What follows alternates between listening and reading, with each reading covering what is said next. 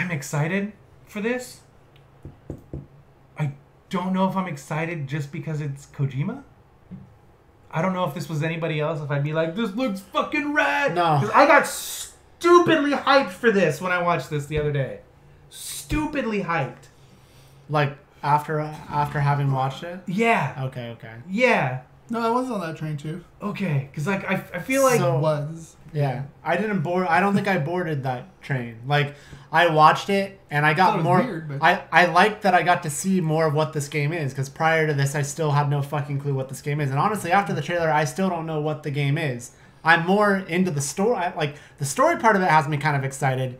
I'm still kind of confused of what the gameplay is gonna actually it's be. fu- it's fucking Metal Gear. I mean, it does kind of It's just Metal like Gear. Metal Gear And if you'd want to Norman Reedus. If you want to go even further and you could compare it to another game, the way they're using tall grass and shit, it's just fucking Horizon. It's that engine, first of all, and it's just Horizon. It's just Horizon Zero Dawn, but Kojima. I kind of laughed a little bit because I was sort of getting into. I'm like, okay, I'm seeing more what this game is about. This is kind of nice. Then I cracked up when it almost seemed like it was supposed to be this epic moment when he pulls a ladder out of his pants or something. I love that. Goes up. I mean, it was cool, but I'm just like, at first I was just sort of like, really, like this is your big thing, ladder mechanics. I love that there was so much gameplay in it. I didn't think we were gonna get that much gameplay out of this trailer. Yeah, but I'm still like I'm still thrown on like I want to know what the gameplay's It's gonna a- be it's a like. third-person It does seem game, man. It's it definitely does stealth game. feel like a Norman Reedus Metal Gear. it's fucking Metal Gear Cross Horizon. And then I, I I'm excited Two of the greatest things to ever exist. So I'm excited at like I like the spookiness level of it. Yes. Like when he when Norman Reedus says whatever it like there's a line where it says something like especially when you're interacting with people from the other side or whatever Yeah. he said and then it shows all that. I'm like, okay, like Mhm. that's cool. Um, because I'm a sucker for anything that's like that. Mm. But I'm still firmly on the fence. I think with Okay. this. I'm- I'm, I'm not gonna just be like, Dude, oh, it's. Kojima. I'm in. I'm all in. You know I- what I- mean? I've tried to um, separate myself from that this week since this uh, trailer came out, and I love the way it looks. Um, I loved Horizon Zero Dawn, um, and I loved the way Metal Gear Solid Five played. Like it wasn't. That's the thing. Like if if that game could have been more refined mechanically, it is. I know everybody says, including myself, that Metal Gear Five was the best playing Metal Gear game to date, which it was. But it was still severely lacking in the gameplay department, as you know, compared to other games. And I think that having an engine that is already so finely tuned for this style of video game with the Horizon engine, Yeah. I am super excited to. It's like I, I got stupidly excited for the first Rage video game because that was the first game to come out after Bethesda bought id Software. So I was under the impression and under the hopes that we were going to get a Bethesda style story like a Fallout 3, but with id style mechanics like Doom and other things. Apparently, that's what Rage 2 is, and I should really play that because it, apparently it's just fucking Doom. Um, but yeah, and, and I ended up being let down by Rage because the story was lacking, severely lacking, and there was nothing to pull me forward through that game. Uh, but I am hoping that this really is the outrageousness and paranormal and weirdness that Metal Gear Solid has always, you know, treaded on with an amazing playing video game like Horizon Zero Dawn. And just by watching it, that's kind of what it feels like. I haven't played it, I haven't touched it. Who knows? It may end up being terrible. But this is going to be see- this is something I'm going to buy day 1. I'm going to play the fuck out of this game and I'll probably try and convince myself to like it even if it's bad. Wow.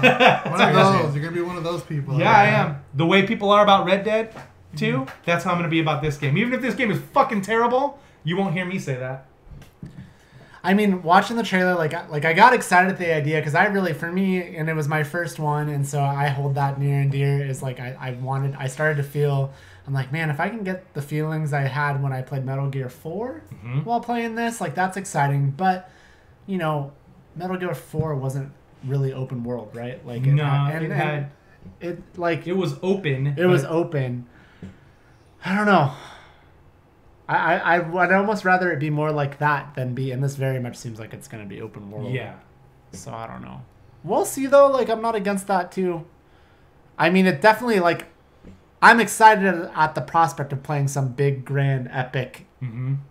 adventure, or whatever the fuck you want to call it. This is the part I would think I was talking about. Yeah. Um, but uh, I'm gonna, I'm still gonna wait and see. Because honestly, uh, if I'm being totally honest with you, everything they've shown before this, I was excited because I do like Kojima and I wanted to see what his next pro- next project was gonna be. But I was never really blown away by anything like by those teasers. Oh no, those just like, teasers the were fuck fucking is this? yeah. There was nothing of substance in any of those trailers. They Yeah. looked really cool, and that's about it. Yeah. Um, Yes, but, we are live. but It's a again, chat. oh, um, fucking Norman Reedus, uh, Nicolas Refn, who's a director but playing a character in the game. Guillermo del Toro, same thing. Mads Mikkelsen, who's awesome.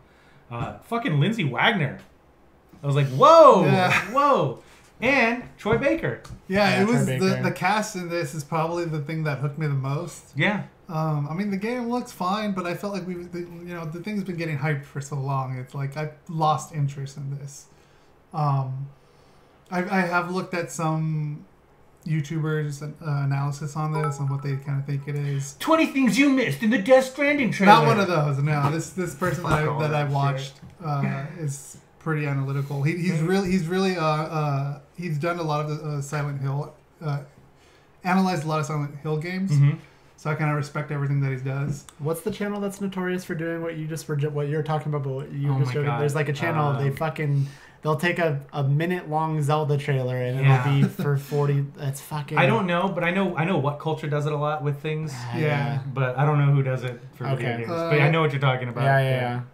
Alt Coin Daddy, thanks for the one bit. Yeah, Uh, we appreciate the one Thank bit. you, thank you, thank you. Uh, anything you give us is very much appreciated. These names, fucking fragile and goddamn Die Hard Man, Mama, Dead Man. there he is. Ugh, Oh, Nicolas Winding. yeah, it's Die Hard Man. Yeah, two direct, two pretty good directors Yeah. in this. I think the trailer is what's making what is what's giving me vibes of it feeling more like Metal Gear Four.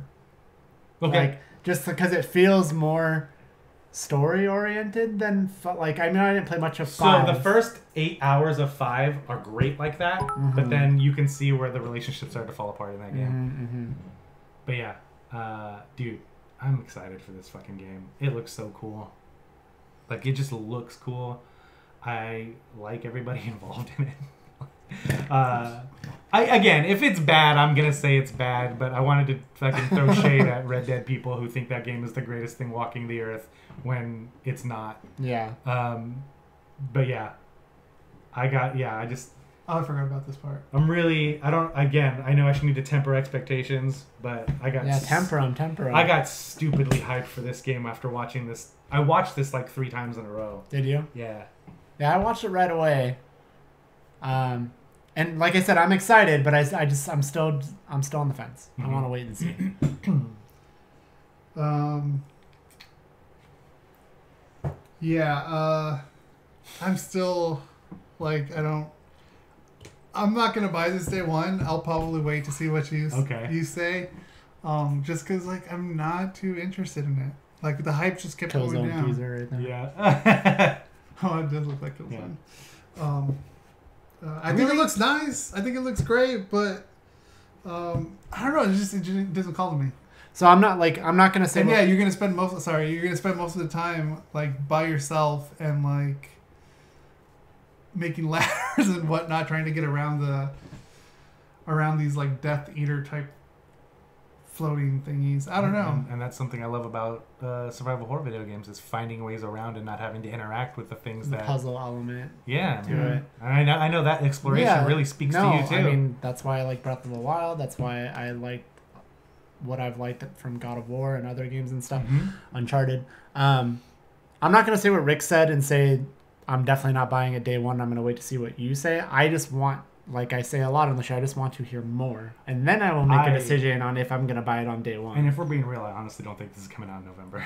I really don't. I don't think there's ever been a fucking Hideo Kojima game that's come out on its original announced date. yeah. At the same time, though, we've been hearing about this game for how many years now? It wouldn't surprise me if feel like. November is actually Three. the time. Three. Three years. Yeah. Come. And but he didn't have to build an engine from the ground up, so that's a good thing. He could kind of just throw the art assets on it, which is good. Mhm. So maybe that would help the uh, the game to get done faster. But I thought this was gonna be like four, five years before we. I think a lot I- of I people honestly thought it was going to be PS5. Five, yeah. Whereas I thought, I, I don't know, we still could, but I doubt it now. I thought we were going to get uh, Last of Us 2 this year. But now I feel like that's not coming out till PlayStation 5. That makes you wonder, doesn't it? I had because I had them flipped, man. I Yeah. thought I thought we'd be getting uh, Last of Us 2 this year, and I didn't think we'd ever get Death Stranding because Sony would put millions and millions and millions of dollars into it, and then be like, man. We gotta just we gotta cut bait here Yeah. because this isn't happening. But yeah, uh, now I feel the other way. I think that yeah, this will be here, and I don't think we'll get Last of Us two until PlayStation Five, PlayStation Five. Yeah. which is weird.